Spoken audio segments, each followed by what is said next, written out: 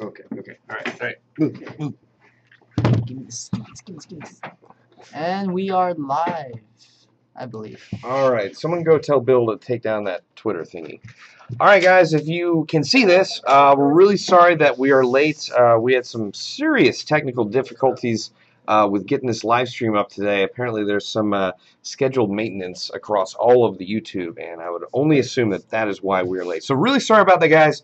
Thanks for sticking with us, and the live show is beginning right now. Okay, so before we get into our topic, which uh, you guys probably don't know about, is Christmas is coming. Um, we're going to go over some of the promos we got going. Uh, first of which is our, our coupon code Xmas25 for 25% off select items. We also have our million dollar giveaway going on. You can either use the coupon code or the million dollar giveaway. In the million dollar giveaway, you're going to get um, you're going to get free stuff valued up to 25%. Uh, of the stuff you purchased on select items. And what's cool about that, and I like the million dollar giveaway because you put stuff in your cart uh, and then you can you know choose your free gifts and you're going to get points for a lot of stuff you take uh, into your cart. And essentially we have almost the entire gambit of stuff on our website uh, in that free gift section. So you know a lot of people can choose guns a lot of people choose bb's gear uh, tactical gear i already said gear um, essentials uh, internal parts. There's a lot of stuff you can use with the million dollar giveaway. I think it's really cool and, and and again, in my personal opinion, it's more fun. Uh, also, uh, our Santa giveaway is still going on, so uh, whether you use a coupon code or a million dollar giveaway, it doesn't matter. Um, whenever you make an order, you're going to get a passcode for the Santa's giveaway. You can put into a secondary site and have a chance of winning a lot of awesome stuff. Um, again, it's a chance, but a lot of the stuff on there is pretty darn expensive and amazing. First of which I like to mention is the Krytac Limited Edition Light Machine Gun.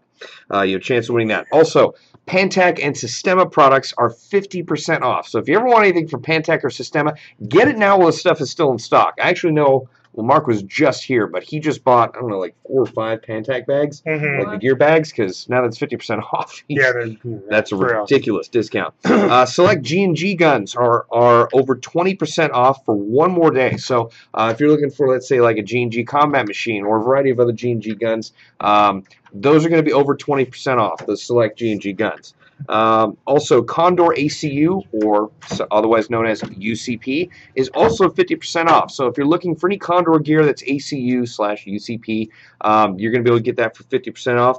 And our Spending Spree patch package is going live at noon Pacific Standard Time this Saturday. And the Spending Spree uh, patch package is pretty awesome. It's actually uh, we decided to uh, to do this patch package after our last patch package uh, ran out. We sold 2,000 of those patch packages, and everyone who bought that had a chance to win a thousand dollar shopping spree. And we had so many people that wanted another crack at it that we're doing it again. So. Um, so this uh, this Saturday, that is going live at noon Pacific Standard Time. Oh, by the way, you're taking up the entire screen. I don't care. In fact, Greg, get up. Get up, get up. Um, all right, so uh, our Plano, Texas store. Um, just so you guys know, I, in, in case you don't, we our Texas store uh, is going to be on the map very soon. In fact, our grand opening is going to be on January 10th, 2015. Um, It's at uh, it's located at 4720 4720 State Highway 121, number 160, Plano, Texas 75024. There's a lot of folks that have been playing some detective games on where exactly it is, and now you have the address. It's 4720 State Highway 121, number 160, Plano, Texas 75024.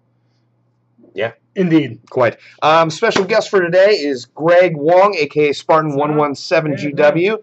Uh, him and his PTS shirt, as well as a lot of other really cool PTS products. Yes. yes So- indeed. Now, our live show is going to be a little shorter today since uh, the live show kind of started late. But without further ado, Greg, why don't you show us some PTS goodness? All right, so we actually have a couple awesome things here. Let me go ahead and put them in position. Uh, more or less, we have some new rails coming out. So as you guys know, the Centurion Arms rails uh, released a couple months ago, and we actually just acquired the Fortis license. So what we have here is the Fortis key mod. It's the Fortis uh, Rev Rail, and it's more or less uh, has key mod on the three o'clock and the nine o'clock. So it's very very slim, very very lightweight. As you can see, uh, Fortis kind of has this thing for skeletonization, so Mhm. they like to really cut down on the weight. And as you can see, it's very slick, and it's it's a uh, pretty pretty uh, pretty nice actually. I actually have uh, full of Are those the same folks that make that skeletonized grip? Yes, Ah, that looks awesome. Oh, Like- that one. Yeah. It's the same guys. Yeah. That's cool. So this is actually what it looks like when it's on a built-up rifle. And what's actually kind of cool is that they match the FDE to uh, match uh, Magpul's FDE as well. Oh, So that's a good idea. these will actually be coming out soon. So this is the 12-inch version. Uh, as you saw, this is the 12-inch version in black. Um, but yeah, I'm really hoping to see a lot more Fortis stuff because they actually have quite a unique look. It's very solid, and, and uh, like you said, it's incredibly lightweight. And when I picked up the gun, I was surprised Yeah. how lightweight it was. So, for those of you looking for a lightweight setup, you're definitely going to want to check out these rails. Um, yeah, it's just really The, comfortable. uh. This one, Yeah. I like how it's basically a hybrid between key mod and Uh, traditional. standard Picatinny. Yeah. Yeah, that's, that Skeleton. is awesome. So you got the battle comp on there too. Yes, Nice. yes, Very- indeed. very well this one's actually got the Rainier on there. If you if you're looking at this one, this one's a little bit different. It's a little shorter. Uh, this one is the carbine cutout. There we go. It's kind of designed more or less so you can use your standard A-frame front sight post.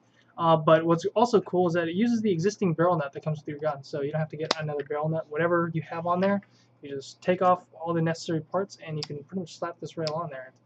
Pretty simple. uh, Oh, has a nice okay. Oh, I see it. that. Yeah, yeah, yeah. That's Because you can see the uh, the Mhm. yeah, Wow. yeah.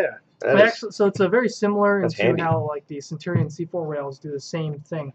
But I always thought that was cool because you don't have to have an aftermarket. Yeah, I didn't actually notice that how it's like the same like Yep, where you come with the Delta one. ring. really quick, I'd like give a shout out to Rubber Phoenix. Your shout out Phoenix. is approved. All right.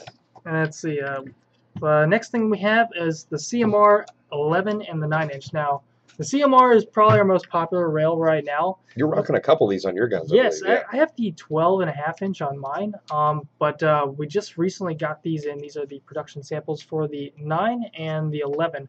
Definitely really cool. You know, one of the things people were basically uh, asking for the most was, "We love this rail. Do you guys have a shorter one?" And without further ado, yes, we do. Yeah, Uh, it was actually kind of funny. At uh, I think it was um, one of the videos before Assault on Antioch. I actually had the real nine-inch one on mine, and it's actually really amazing how close they are.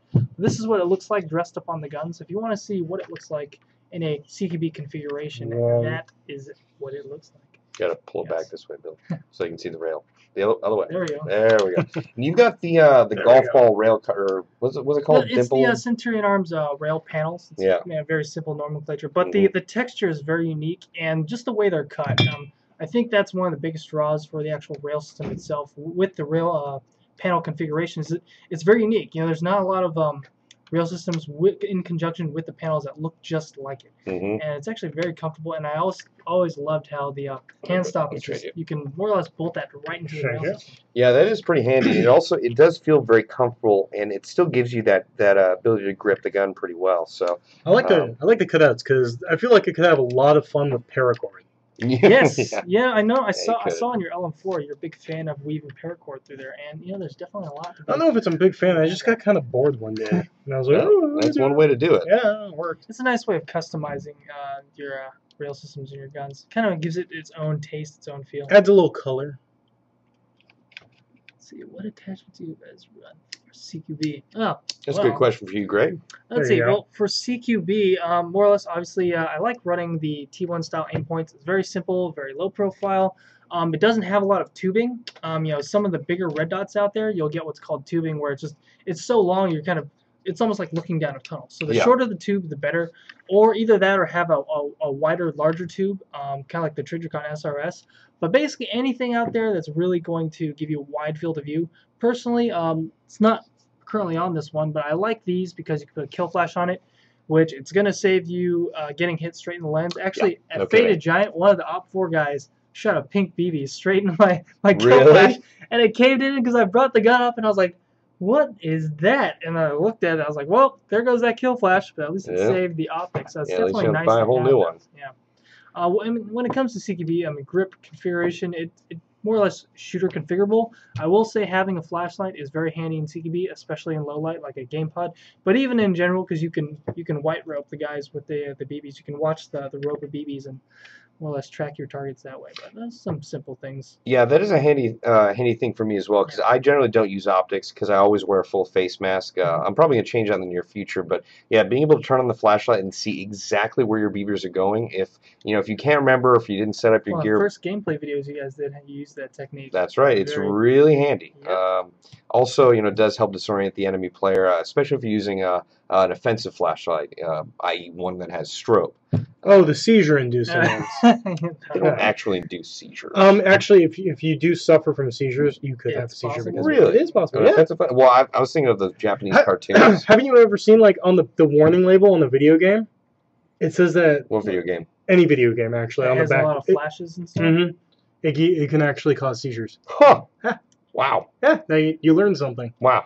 Bob done there learned something. yes, indeed.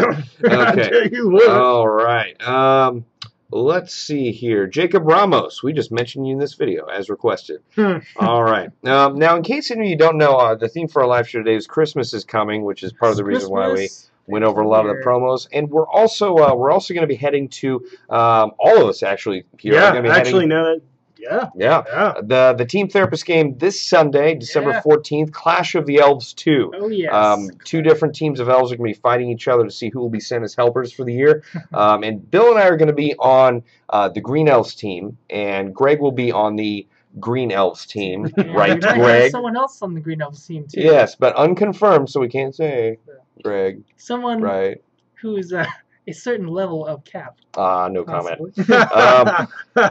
It would be good to see that person if he were there to show up again because he's a nice guy and I haven't seen him in a while. Um, anywho, Shirley. Yeah, stop it, stop it, Bill. Um, unconfirmed. Anyway, um, we're going to be there this Sunday. The game is from 8 a.m. to 4 p.m. Mhm. Um, from, from what I've read, it's going to be a single continuous game for two and a half to three hours. Bring hours. your batteries. Bring, extra Bring your batteries. Bring batteries, gas, Hydrate. everything. Please Yes. hydrate. One, uh, the last time I went out to a team therapist game, which was the first time actually, Yeah. um, there were some players on the field that didn't have any hydration kits. I lent them. Uh, well, I didn't lend them. I gave them some water. Um, so try try your best to bring out hydration uh, and make sure to stay as hydrated as possible because it's going to be a long game. Bring water to your fob. Each side will more than Yep. likely have a little fob, and bring some Gatorade, some water, extra ammo, BBs, beef jerky, protein to keep your energy going throughout the day. Mm. Actually, Yeah. uh, there's a good question uh, on um, our comments right here. What should this person polar star? An M27 IAR or a 416? Mm, Is the 416 CQB length? That's the question. well, I mean that it is going to be. Oh, Well, I mean, you could you could do a kit. I would I would say M27 IAR just because. It's more Um, of a it plays more into the support role, and you're Yep. going to have that Mhm. range. Uh, and if you if you don't know a lot about the M27, it's literally a rifleman rifle. It's made for a support weapon role. It's made for a DMR type role. I mean, it's it's kind of it can fill a lot of different roles as it like squad des- designated marksman or you know support. So I think I know why your eyes were all wide there, Bob. yeah. Sorry, Greg. I didn't mean to interrupt you. Or Bill did mean to interrupt sorry, you. sorry. Yeah. I, I just saw the look on Bob's face, and I'm like, Laramie Palm, your shout out is approved. Um, actually, real quick, since we've got uh, a semi Jedi here, Greg, Hmm. um, what is your favorite Star Wars character? You know what? if you it's say gotta- Jar Jar Binks, I will murder you Yeah, right if you, here. if you say that, you're gonna have to leave our gotta property. be Boba Fett, man. Like, Ah, uh, you said it before you could. The Fett Man? Dang it. The Alright. story, the Well, story it's like- behind him. Well, yeah, Ooh. the story behind. Basically, if you guys aren't familiar with the Mandalorians, they're essentially the Spartans of the Star Wars universe. Uh, the helmet design is actually very much inspired by these Spartan helmets with the T-shaped True. visor. hmm Uh, I mean, I'm, I mean, I'm pretty sure when George Lucas, I mean, it's literally the mythology, the characters, the the culture of the Mandalorians, is pretty much one to one to the Spartan universe. I mean, there's some of the few non-force wielding guys that can really take on force wielders and win. Yes. Um, there was an episode. They'll there, always uh, win, but they do they do they do fight the Jedi and the Sith a lot. Although sometimes they find themselves aligning more with the Sith. On th- there was an episode of uh, the Clone Wars where the one fights Obi Wan Kenobi Mhm. with a you know, like a the call vibroblade. Yeah, I know. it vibro- or is it yeah, the dark it's saber a 'cause of the black It's probably a blade? vibroblade. Something you were like that, I talking about it. It's th- those things are treated so they can withstand um, lightsaber. Well, no, we we were actually discussing this, uh, and that vibroblades essentially vibrate at an incredibly fast frequency to where they can go through skin and armor faster. Yeah. But Bill actually put me on to, I think it's a cortosis coating or a corto- Cortosis weave. cortosis weave.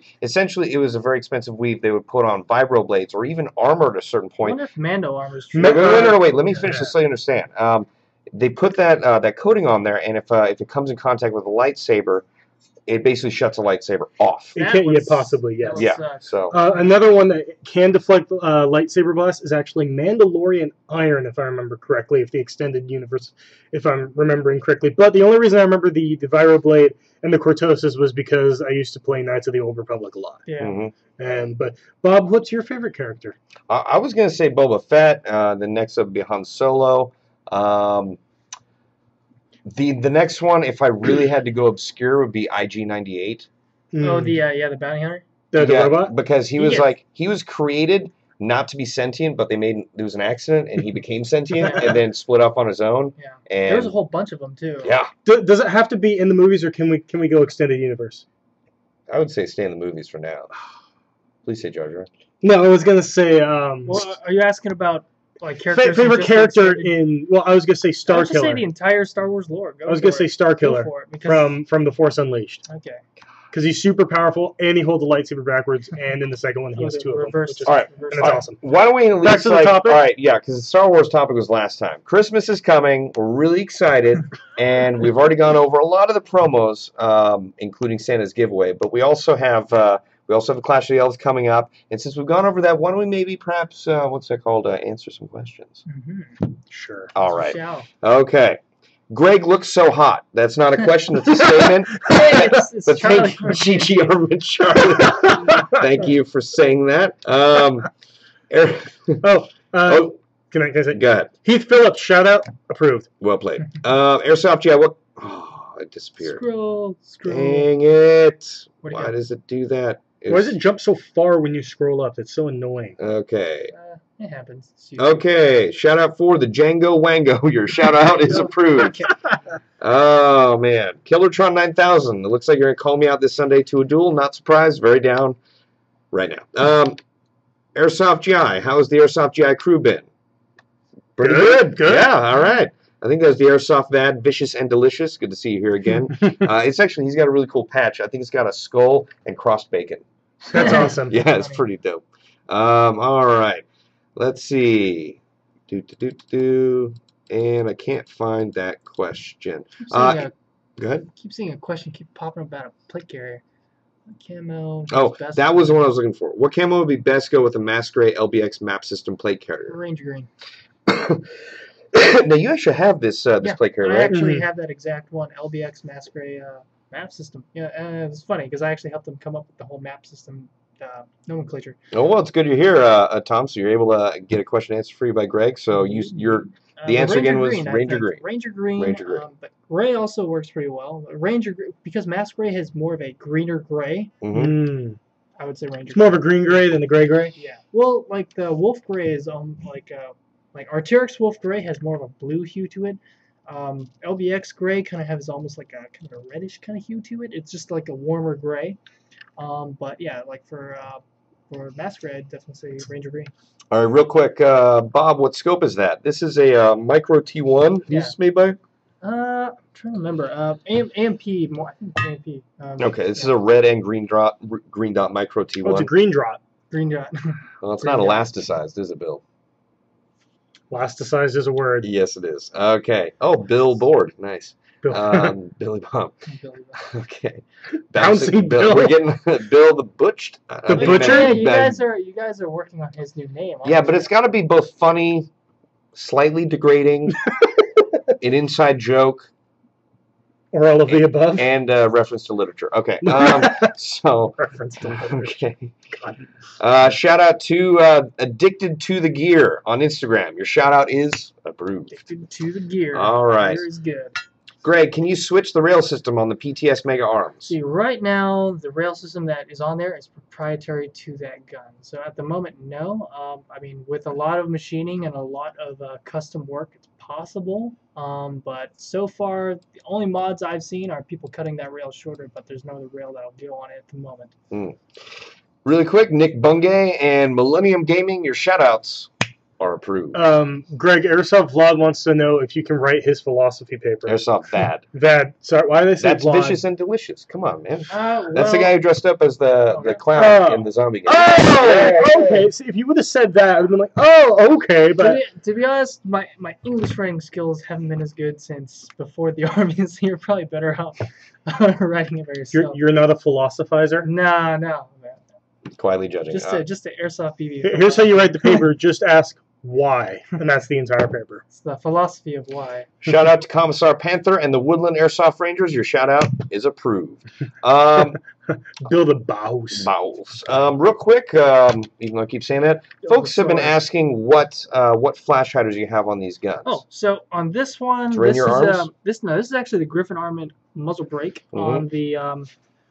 The other on one's uh, uh, Battle Comp? Yeah, this one on the Flat Dark Earth is the Battle Comp 1.0, and on the uh, other one, which I like to call the other one like the mil spec or the uh, the Le- like the I almost call it, like call it the Leo gun because you find a lot of duty guns still have the A-frame front sight post. This is the Rainier Arms um, XT. Pew pew. Yes. So, well said. all made by PTS. Which is awesome. Build But, uh, and this one will actually take a suppressor too. So. Belasticizer. Blasticizer. I like that. Quest continues. for the blasticize or perfect name. Yeah, asticize? uh, Belasticizer. J Plaz one two three. Well- What's up, bud? Haven't seen you in a while. Billy the Kid. There you go. That's Billy something historical. That's, that's, that's a pretty good one. Ballistic Bill. I. Yeah. Take my AP Physics test. Hell no. Sorry. Wild Bill Hop Up. That's not bad. That's I- actually I, like kinda that. funny. Yeah, yeah. Uh, Jennifer Smith, your shout out is approved. All right. what is the best What is camo? The one for the right environment, the one that fits suits the Okay, environment. instead of best, let's say, how about favorite? Bob, what's your favorite? Green A-TACS. Because Rebel, it's- Rebel Camo. Because it's Rebel Rebel Alliance. camo. Come on now, guys. It, it, Hmm. in case you guys out there wondering, For me, I really like Green A-TACS just because it was the camo the Rebels wore Yeah. in Return of the Jedi. Mhm. Go ahead. Sorry. I think, for me, man, I have so many camos. Uh, you know what? If you consider Wolf Gray a camo, I'd probably go with Wolf Gray, just because uh, it's, it's super elite. Wolf Gray is is leet. Um, Elite. You never Uh, heard that phrase? No, I have. Okay, it's all from yeah, internet Yeah, and yeah. gaming and stuff like that. Elite. My favorite, because I've never owned really any cam. I've always done contractor stuff, is actually got to be Woodland or M81. Well, it's That's also the of camo favorites. you just bought. too. I know, but like it, it goes really well with. I like it because it goes with any color gear, black, tan, or green. It works. Jackson Kilman, your shout out is approved. Bill the BB Baller, not bad. Um, EPM discounts, Greg. Uh, right now the EPMs are staying at map. That's one of the things about PTS. Everything's more or less staying at map, but every now and then, um, it really just depends on the boss. Every now and then, sometimes. The Can I boss can I throw in a, uh, a, a Price is Right sad tuba? Woo. Hey, always stay tuned to the retailers like Airsoft GI because you never know. I will say the EPM mags are pretty amazing in that they feed at really high rates of fire. And I know our guys on the East Coast, like when they get them in, like they just go They right pretty out the much door. buy them out. Like, Yeah. I think Ed, Ed, That's a train. That's Ed, train, by the way. Ed, uh, Ed, Zach, and uh, I mean a lot of the guys over there. Like, as, yeah, as soon as the shipment comes in, they'll pretty much buy it. Like, Well, no, They're built like a brick. they, they are built like a brick, but the thing is, like, it's not just like it's not just the employees buying them. Like, literally, the second they come in, they will call the customers that have asked about them, and the Yeah, customers will drive right over and just buy them immediately. So. I've noticed when people buy them, they buy them in huge batches. Like Yeah. they buy them in batches more than I personally have, like eight, like six or eight of them. It's like, Hey, I, I run But, um, like fifteen. hmm. If I if I have like eight Oh, I'm G mags, your I L- run I think of your LM4. Oh yeah. God, no. Yeah. Fifteen extra pounds. Yeah, I've run about 12 LM4 mags once. I'd say ten. yeah. Like for me, like I I like used, I 11 used or to 10. run a lot, and like in terms of how many mags I'd carry, it kind of balances out around nine or ten, with maybe a high cap or two, just in case for those Hmm. crazy, crazy firefights if I really need. to. Sorry to interrupt. Well, it's not really interrupting, just finishing up. Billy Wet Willie. That's kind of that's a contender. Mhm. I know you like- I know you don't like it, I but still like Billy Wait, the Kid. Billy the Kid is a good one. I will slap you. no, I mean like that can be like your Yeah. like your, character signature. page. Billy Wet Willie. okay. All right, Mr. Muncher Man, your shout out is once again approved. All right. Well, this is a question that I don't understand. Will PTS ever be making PMags again? Uh, all the Magpul mo- molds are uh, non-existent anymore. They, uh, so pretty much no more will be made. Whatever's out there, get it while you can. Uh, right now, the only PMags that are available are the PTS high caps. So yeah, it's more more or less the 300 round uh, PTS uh, high caps right now. So these are the only PMags available. Um, pretty much from now until the end of time, we're making the EPMs, but we might make some other variants or EPM Plus or something like that. So. Hmm. Well, I mean, the EPMs look very good. I like them. Mad VT one two Mad VT one two three part two of Rebel Training Camp question mark. Um, that is going to come out soon. Uh, we just put up part one of the Rebel Training Camp. Uh, next up, I believe, is going to be uh, part one of the Zombie Extravaganza. So, folks, you know we've been getting uh, calls, and well, mostly mostly comments and emails Yeah. from people wanting Rebel Training Camp footage and Zombie Game footage. We're working on as fast as we can, uh, so we're staggering it. Rebel Training Camp, then Zombie Game. Hopefully, we can get back to Rebel Training Camp and then get some more Zombie Game stuff. We have a lot of action footage. We're going through as quick as we can. I will say this year for you guys, when it comes to like games and stuff, you guys had quite the lineup this year. Like Assault on Antioch, Oh, man. Zombie Game, and Rebel Training Mhm. Camp. We've uh, we actually calculate out we've either gone out to games or held our own events um, at least twelve times this year. So every month we've been out to something, That's pretty and crazy. the la- like I think from August to like November we Two were going we were going two a month. Yeah, like a GI game we would throw and then another game we had to go to. So And you have to think like depending on who went, like you have Max who's running the, the main camera, Cameras, yeah. but then we got head cameras on you and you know whether it's Daniel or like Daniel and me or Daniel and whoever.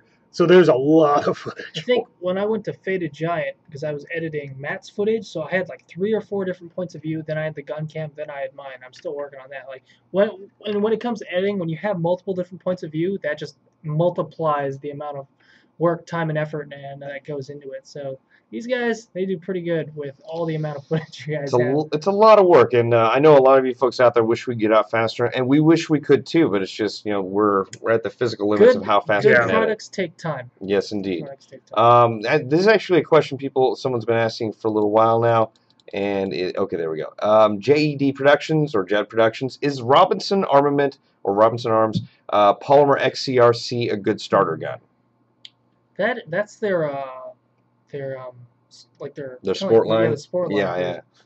Um, Hmm. I personally think it's it's not a bad starter gun. I mean, it's definitely on the more affordable end, which is what you get with the polymer body. Um, I've never been a complete fan of the Robinson Arms uh, XCR externally.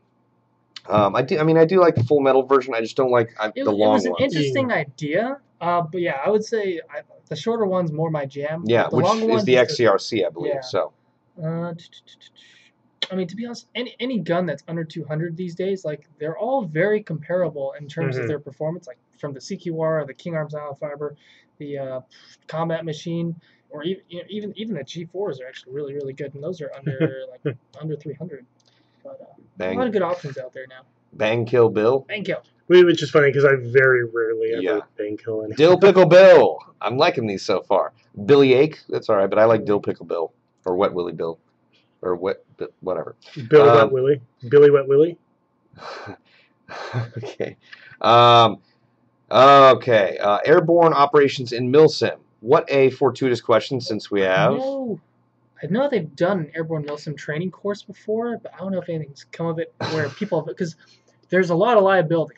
Like the government can do stuff like that because I mean the government they control every aspect of you know the liability everything. You know you're pretty much you work for the government, but for a I mean, it would probably have to be similar to like the liabilities that go with skydiving, but I mean, the, the company that holds the Milsim event would would be like liable. So they, there's a lot of legal stuff going into that. But Yeah. I mean, it could be possible, and it would be pretty awesome.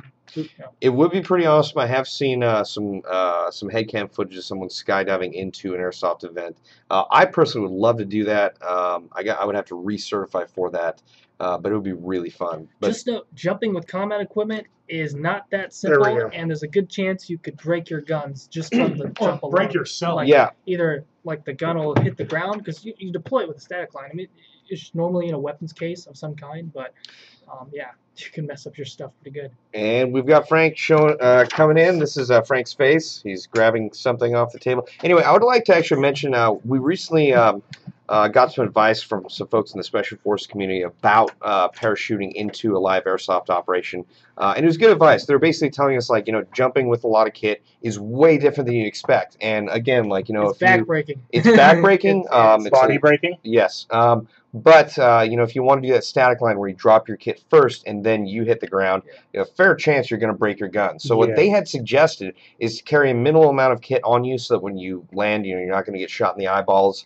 Uh, you know, maybe carry balls. maybe carry like Rifle a rubber knife. 2 and that, well, maybe like magazines, maybe a pistol, maybe a knife, but then like have a supply cache on the ground that you're gonna have to fight to access to or to get to. Let's have a Uh, rally point. Was with it some wasn't it was it you who's telling me anything about the boots jumping in like boots? They have to have a zipper or something for. No, no, the zippers, and Greg could comment on this better Yeah, than I he could 'cause probably he's could. actually a paratrooper. But uh, but yeah, the zipper was designed uh, to quickly access the ankle in in the possibility of an ankle injury when you land. Well, thing is, in the United States Army, according to AR 670-1, you're not supposed to have boots with zippers. Well, there you go. Uh, you know, when when I was skydiving Mhm. uh, regularly, um, they actually would not they would not allow us to wear boots. You could only wear sneakers and no flip flops, obviously. But Nice. but you had to wear sneakers or something that didn't cover your ankle. I mean, to each their own, but jumping, jumping period is dangerous. Jumping with equipment with multiple people who had limited training is very dangerous. Like, I mean, there's a reason at airborne school you do like a couple jumps before you even get to the combat equipment Mhm. first. You do a Mhm. couple Hollywood jumps first. So, so you have to think about it too. Like, you're jumping. If you were jumping into a milsim game, right? I mean, if they had already gotten qualified or whatever before, or what, however they'd want to do it. I mean, these are people you've never jumped with before, and you got to make sure everyone's on the same page or as much as you possibly can. And even then, I mean, once you exit the bird, any number of things could happen. You can have a midair collision. You can run off the top of the other guy's parachute. Some guy can steal your air, and now you're kind of plummeting. Your chute can fail to deploy. Now you have to deploy reserve. And like I said, if you want to, to have combat Uh. equipment with all of that, I mean, there's times where like because that adds a lot of weight and it changes the physics of how you're swaying under the chute and everything. So Well, that's the thing. Just to clarify, like Greg is actually talking about static line jumping, and I'm Yeah. talking about uh, accelerated Free free fall? fall Yeah. jumping, where it's two different types of parachutes. yeah. Uh, two completely different types of parachutes. I have no idea. Well, why don't we But- explain to our viewers? for Real quick? air okay so free fall you jump and more or less um, i mean it, you're literally in free fall and then at a certain point at a certain altitude or wherever you're going to deploy your chute About 2,500 to Yeah. 5,000 feet. and you'll usually have like a, a, altimeter. yeah, altimeter that's going to make sure you deploy it'll it'll deploy the chute at a certain altitude I'm no gonna bring that in one of these no days. what. We should be cool. the uh, but static line theory if you want to do a milsim jump most milsim jumps are going to be static line a mil, like an actual military jump For line most part. infantry. yeah for Yeah. line infantry. Yeah. but um But special forces jumps are with. Well they do they do both they do static Yeah, line I and thought I was going to get you to admit like to it. they do a lot of they do a lot of free fall, but Yes, they're all static they're all static line qualified. But I'm telling you, Absolutely. if you're gonna trust a lot of people to do free fall, like you got Mm. it's Mm-mm. it's like both are very dangerous. To be honest, static line well, they're both dangerous. There's trade-offs with how safe and how dangerous each one is, but they um, but yeah, they're both pretty dangerous because if you mess up in static line, your reaction time until the ground is not very long. Because you're a lot lower, right? Yeah. Well, yeah, the combat jumps, you don't even have time to deploy your reserve. There's in no way. actual yeah. combat jump, you don't jump with a reserve. Yeah. Yeah, it's good luck. Thank you, thank you for serving Uncle Sam. Oh, man. Very much. See, if I had to do it, and that's the thing is, like, I don't have a lot of experience uh, free falling with, you know, a team of people. Yes. Um, I've experienced That's experienced, dangerous. yeah, no kidding. I mean, I I've experienced deploying my parachute around other people, so I always have to check if they're above or whatnot. But, but the thing is, like, I would rather like free fall on my own and just be kind of like a lone dude, just like Mhm. trying to get my supply cache and link up with people. You all solid snake up in there. If you're Yeah. looking to do a mass tac with static line, that is still pretty dang dangerous. That that is an Well, absurd amount of Let's life. let's just put it this way: anytime you jump out of anything in the air, it's probably pretty dangerous. You know, Anytime you add other people, it becomes exponentially dangerous. you know what I've heard is actually the most dangerous sport in the world? Flying a helicopter, Nope. You want to guess again? Shark hunting? Nope. No. uh, cheerleading. Fishing. Fishing? More people get killed fishing every year than anything else. Well, there you go. Yep. Drowning. Uh, drowning, obviously, uh, but also you know people who are drunk and boating. Oh, Um, there's a problem. You know, fish actually killing people, or fish jumping out of the water, knocking them off the boat, drowning. a marlin just coming in and impaling someone. That basically. happens. That- I, I'm that- not saying it. Then yeah, I'm just no, saying, that like, absolutely happens. jeez. Deadliest catch. There's a reason it's called deadliest catch. Yeah, well, it's it's in a, it's definitely pretty rough. That's not no kidding about that. All right, hey, all right, guys. Sorry, we're, we're way off topic. We went from Christmas to Star Wars to parachuting. Very to, logical to, combination. It was a good to question. dying a very painful fish impaling death. Yes, indeed. um, all right, well, I think that's actually going to do it for a live show. We went a little bit over because we started a little bit late. Thank you guys for sticking with us. We really appreciate it. Um, once again, I'm Bob the Axeman Hildebrand. This is. Are you pointing to me or Greg? you. Billy, I don't have a nickname yet. And still bitter about it. And we've got Greg, uh, Greg Wong, a.k.a. Spartan117. GW. GW. Not, and, uh, not 1117? Yeah, yeah. What you say? keep an eye because these things, all the new rails, will be coming out real soon. Well played, Greg. Well played. All right, guys. Thanks for stopping by. Goodbye. Bye bye Bye. now. Bye bye. Bye. Look at the camera, but still trying to find the off button. Goodbye. Bye. Found it. Bye bye. Bye. Bye, guys.